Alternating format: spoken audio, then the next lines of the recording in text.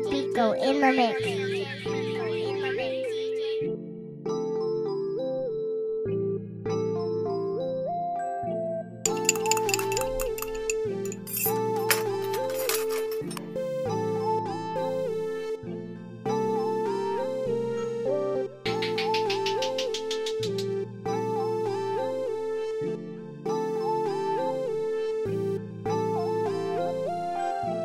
Oh, linky bitch.